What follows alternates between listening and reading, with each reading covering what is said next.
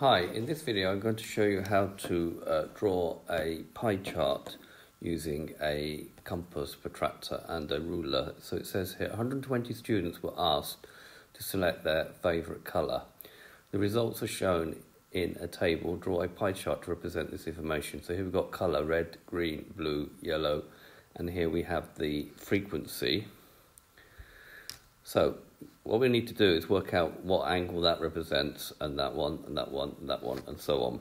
So the total is 120 when we add these up. So the angle, uh, so this is 36 out of 120. So if we don't know the total, by the way, you would have to add it up. So it's 36 out of 120. Now in a circle, there are 360 degrees. So we say of. Now of in mathematics is replaced with multiplication, 360 divided by 1. And then uh, we see if we can do any cancelling. Well, 120 goes into 360 exactly three times. Now, because we've got 1 and 1 here, this 3 actually now means that one person is represented by 3, three degrees on the pie chart. So 3 times 36 gives me 108 degrees. Then we take 24, do the same thing, 24 over 120 of 360 degrees over 1. We will uh, cancel again, and then 3 times 24 is 72 degrees and then we do 12. So 12 over 120 times 360 degrees. Again would cancel. And 3 times 12 gives me 36. And then finally for 48, we'll do 48 over 120 times 360 over 1. And then if we cancel, we will get uh, 3 here. So 3 times 48 gives me 144. Now you should just check at this stage that these do add up to 360. Right, to draw the uh, pie chart, so first of all you need to draw yourself a reasonably large circle and you need to draw a line somewhere on the circle. So I'm going to put um, a title and some key for... Okay, so we're going to draw a line straight uh, there. Okay, so now we need to take our protractor and make sure that zero is against this one here.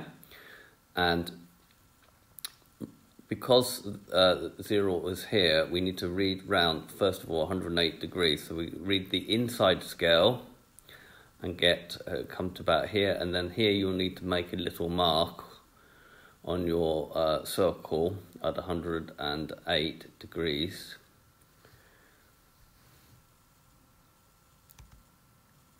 and then we draw in the line there. So remove the move the um,